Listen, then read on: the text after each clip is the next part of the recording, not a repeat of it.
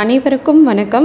Welcome to Sumathi's home and kitchen இன்றைக்கி பதிவில் என்ன பார்க்குறோம்னா ஆடி செவ்வாய் மற்றும் வெள்ளிக்கிழமைகளில் என்னென்ன அம்பிகை வழிபாடுகள் சிறப்பானதாக சொல்லப்பட்டிருக்கு இந்த வழிபாடுகளை நம்ம செய்கிறதுனால நமக்கு என்னென்ன பலன்கள் கிடைக்கும் அப்படிங்கிறத பற்றியும் ஆடிக்கூழ் எதனால் ஊற்றப்படுகிறது இந்த ஆடிக்கூழுடைய வரலாறு யாரால் துவங்கினது அப்படிங்கிறதையும் தெரிஞ்சுக்கலாம். இப்போ நம்ம வீடியோக்குள்ளே போகிறதுக்கு முன்னாடி சேனலை புதுசாக பார்க்குறவங்க சேனலை சப்ஸ்கிரைப் பண்ணிவிட்டு பாருங்கள் அப்படியே பக்கத்தில் இருக்க பெல் ஐக்கானை கிளிக் பண்ணி ஆளுங்கிற ஆப்ஷனையும் கிளிக் பண்ணிக்கோங்க. அப்போ தான் நான் வீடியோ போடும்போதெல்லாம் உங்களுக்கு நோட்டிஃபிகேஷன் வரும். இப்போ நம்ம வீடியோக்குள்ளே போகலாம் பொதுவாக ஆடி மாதம் தேவர்களுக்கு உரிய மாதம் அப்படின்னே சொல்லலாம். இறைவனை வழிபடுவதற்காகவே ஒதுக்கப்பட்ட மாதம் அப்படின்றதுனாலையும் இறைவனை வழிபடும்போது நம்முடைய கவனம் சிதறும். அதனால் திருமணம் உள்ளிட்ட பல்வேறு சுப நிகழ்ச்சிகள் இந்த மாதத்தில் நடத்தப்படுவதில்லை. எனவே இது ஒரு அற்புதமான மாதம் அப்படின்னு சொல்லலாம். அதுலேயும் குறிப்பாக இந்த ஆடி மாத செவ்வாய் மற்றும் வெள்ளிக்கிழமைகளுக்கு சிறப்பு மகத்துவம் உள்ளது. ஆடி மாதம் தட்சிணாயனத்தின் தொடக்கம். அதாவது தேவர்களின் இரவு காலமாக இதனை கருதுகிறோம். ஆடி மாதத்தை சக்தி மாதம் அப்படின்னு ஜோதிட நூல்கள் குறிப்பிடுகின்றன. தட்சிணாயனம் துவங்கும் இந்த ஆடி மாதத்தில் சூரியனிலிருந்து சூட்சும சக்திகள் அதிகமாக வெளிப்படும். பிராணவாயு அதிகமாக கிடைக்கும். உயிர்களுக்கு ஆதார சக்தியை அதிகமாக தரும் மாதம் இந்த ஆடி மாதம். ஆடி மாதத்தில் வேப்ப மரம் அம்மனின் அம்சமாக பார்க்கப்படுகிறது. காரணம் ஆடிக்காற்றில் அம்மியும் பறக்கும் என்பார்கள். அதனால் ஆடி மாதத்தில் காற்று வழியாக பரவக்கூடிய நோய் தொற்றுகள் அதிகமாக பரவும் அபாயம் உண்டு. அதை தடுப்பதற்காக ஆடி மாதத்தில் வீட்டின் முன் வேப்ப இலைகளை குலையாக அதாவது கொத்து கொத்தாக கட்டி வைப்பது அப்படிங்கிறது நம்ம முன்னோர்கள் சொல்லி வச்சுட்டு போயிருக்கக்கூடிய ஒரு வழக்கம். வேப்ப இலை மிகப்பெரிய கிருமி நாசினி என்பதால் கிருமிகள் வீட்டிற்குள் வருவதும் தடுக்கப்படும். அம்மன் தவம் செய்த மாதம் என்பதால் ஆடி மாத செவ்வாய் மற்றும் வெள்ளிக்கிழமைகளில் சிறப்பு பூஜைகளும் ஞாயிற்றுக்கிழமைகளில் கூழ் ஊற்றும் நிகழ்வும் வெகு சிறப்பாக நடத்தப்படுகின்றன. ஆடி மாதத்தில் பருவமழை தொடங்குவதால் விவசாயம் செய்ய முன்னோர்கள் தீவிரமாக இருந்தனர். இதனால தான் ஆடிப்பட்டம் தேடி விதைன்னு சொல்லுவாங்க. ஆடி மாதம் குலதெய்வத்திற்கான மாதம் அப்படின்னே சொல்லலாங்க. ஏன்னா இந்த ஆடி மாதத்தில் குலதெய்வ வழிபாடு அப்படிங்கிறது மிகவும் சிறப்பானதாக கருதப்படுது. அது மட்டும் இல்லாமல் கிராம தெய்வங்கள் எல்லை தெய்வங்களை வழிபடுவதற்கு உரிய மாதம். புற்று கொண்டுள்ள தலங்களையும் நம்ம வழிபடுறதுக்கான மிகச்சிறந்த மாதம் இந்த ஆடி மாதம். மாரியம்மன் காளியம்மன் செல்லியம்மன் மதுரை வீரன் காத்தவராயன் முனீஸ்வரர் கருப்பண்ணசாமி ஐயனார் முதலான தெய்வங்களை வழிபடுவது இரட்டிப்பு பலன்களை வழங்கும். அதே போல் ஆடி மாதத்தில் குடும்பத்தில் சுமங்கலியாகவோ இல்லை கன்னி பெண்ணாகவோ இறந்தவர்களை குளிர்விப்பதற்காகவும் அவங்களுடைய ஆசியை நாம் பெறுவதற்காகவும் செவ்வாய் மற்றும் வெள்ளிக்கிழமைகளில் வீட்டை சுத்தம் செய்து பூஜை அறையை சுத்தம் செஞ்சு கோலமிட்டு விளக்கேற்றி சர்க்கரை பொங்கல் இல்லைன்னா எலுமிச்சை சாதம் புளியோதரை தேங்காய் சாதம் இந்த மாதிரியான சித்திர அன்னங்களை வைத்து நெய்வேத்தியம் செய்யலாம். வசதி இருக்கவங்க புடவை ஜாக்கெட் வச்சு வேண்டிக்கிட்டு யாரோ ஒரு சுமங்கலிக்கோ இல்லை கன்னி பெண்ணுக்கோ ஏதாவது ஒரு வஸ்திரம் அதாவது துணியை வந்து தானமாக தரலாம். இது கூடவே மஞ்சள் குங்குமம் வளையல் கண்ணாடி முதலான மங்கள பொருட்களையும் வழங்கலாம். மூத்த சுமங்கலி அப்படின்னு சொல்லக்கூடிய வயது முதிர்ந்த சுமங்கலிக்கு வழங்கி நமஸ்கரித்து அவங்கக்கிட்ட ஆசீர்வாதம் வாங்கிறது அப்படிங்கிறது மிக மிக சிறப்பானது.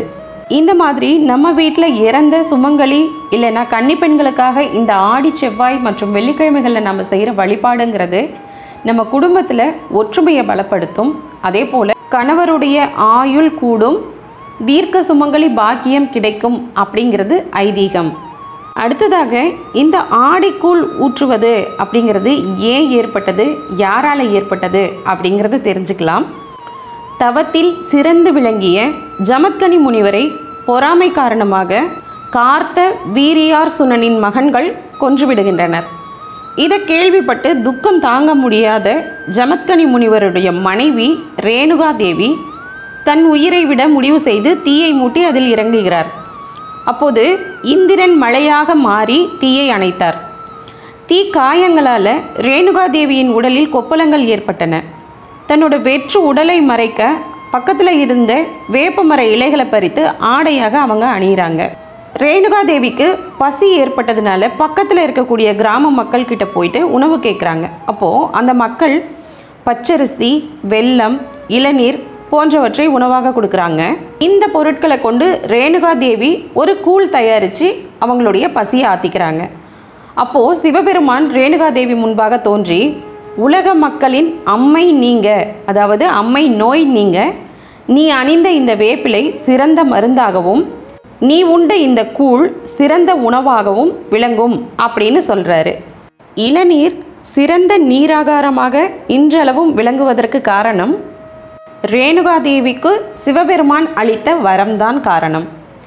இந்த சம்பவத்தை நினைவு கூறும் வகையில் தான் ஆடி மாதத்தில் ஒவ்வொரு ஞாயிற்றுக்கிழமைகள்லையும் எல்லா அம்மன் கோவில்கள்லையும் இந்த கூழ்வார்க்கும் திருவிழா சிறப்பாக நடைபெற்று வருகிறது. மேலும் இந்த ஆடி மாதத்தில் வீசக்கூடிய காற்றோட வேகம் அதிகமாக இருக்கும். அதனால் காற்றில் பரவக்கூடிய கிருமிகள் வந்து ரொம்ப அதிகமாக இருக்கும். அதாவது காற்றின் மூலமாக பரவக்கூடிய நோய் தொற்றுகள்னு சொல்லக்கூடிய காலரா பிளே இது எல்லாமே காற்றின் மூலமாக பரவக்கூடிய நோய்கள். இது போக காற்றோட வேகத்தினால நிறைய தூசிகள் காற்றில் கலந்து வரும். இதனால் இருமல் சளி போன்ற நோய்களும் ஏற்படும். இதை தவிர்க்கவே மாரியம்மன் கோவில்களில் ஆடி மாதம் முழுவதுமே இந்த கூழ் ஊற்றும் ப- திருவிழா வந்து சிறப்பாக நடைபெறுகிறது. இதை ஆடி கஞ்சி அப்படின்னும் சொல்கிறாங்க இந்த கஞ்சி தயாரிக்கிறதுக்குன்னு ஒரு முறை இருக்குது அது என்னன்னு பார்க்கலாம் வாங்க. அதிமதுரம் சீரகம் திப்பிலி சின்ன வெங்காயம் திரிகடுகம் குன்னிவேர் உளிஞ்சுவேர் சீராமுட்டி கடலாடி வேர் ஆகியவற்றை லேசாக தட்டி எடுத்துட்டு ஒரு வெள்ளை துணியில் கட்டி பச்சரிசி கஞ்சில் கொஞ்ச நேரம் அதை போட்டு ஊற வைக்கணும். அதுக்கப்புறம் எடுத்து அந்த துணியில் இருக்கக்கூடிய அந்த மூலிகைகளை பிழிஞ்சு விடணும். அந்த சாறு மட்டும் அந்த கஞ்சில் இறங்குற மாதிரி. அதன் பிறகே இந்த ஆடிக்கஞ்சை பரிமாற வேண்டும். இந்த முறையை நம்ம எல்லாருமே எல்லா கஞ்சிலையும் பயன்படுத்தலாம். ஆனால் இப்போது வழக்கத்தில் இந்த ஆடிக்குள்ள பச்சரிசி கஞ்சி அப்படிங்கிறது மாறி கேழ்வரகு கூழ் தான் அதிகமாக ஊற்றப்படுது. இந்த கேழ்வரகு கூழ் ஊற்றும் போதும் இதே முறையை பின்பற்றி நம்ம வந்து கஞ்சி ஊற்றுவது அப்படிங்கிறது ரொம்ப அதிகமான சிறப்புகள் உடையதாக கருதப்படுது. இவ்வளவு சிறப்பு வாய்ந்த இந்த ஆடி செவ்வாய் மற்றும் ஆடி வெள்ளி ஆடி ஞாயிற்றுக்கிழமைகளில் ஏதாவது ஒரு கிழமையில் உங்கள் வீட்டில் நீங்களும் குலதெய்வ வழிபாடு உங்கள் வீட்டில் இறந்த சுமங்கலி அல்லது கன்னிப்பெண்கள் வழிபாடு செய்து உங்கள் குலம் தலைக்க நீங்களும் அம்பாளை பிரார்த்தனை செய்து எல்லா வளமும் நலமும் பெறணும் அப்படிங்கிறது தான் என்னுடைய வேண்டுகோள். இன்னைக்கு இந்த பதிவு உங்களுக்கு நிச்சயம் பயனுள்ளதாக அமைஞ்சிருக்கும்னு நம்புகிறேங்க மறுபடியும் ஒரு சிறப்பான பதிவோடு உங்களை நான் சந்திக்கிறேன். இந்த வீடியோ உங்களுக்கு பிடிச்சிருந்தா லைக் பண்ணுங்கள் ஷேர் பண்ணுங்கள் மறக்காமல் வீடியோ யூஸ்ஃபுல்லாக இருந்ததான்றதை கமெண்ட் பாக்ஸில் சொல்லுங்கள் எனக்கு இது வரைக்கும் சப்போர்ட் பண்ணிகிட்டு இருக்கக்கூடிய அத்தனை சப்ஸ்கிரைபர் மற்றும் நண்பர்களுக்கு என்னுடைய மனமார்ந்த நன்றிகளை தெரிவிச்சுக்கிறேன். தேங்க்ஸ் ஃபார் வாட்சிங் தேங்க்யூ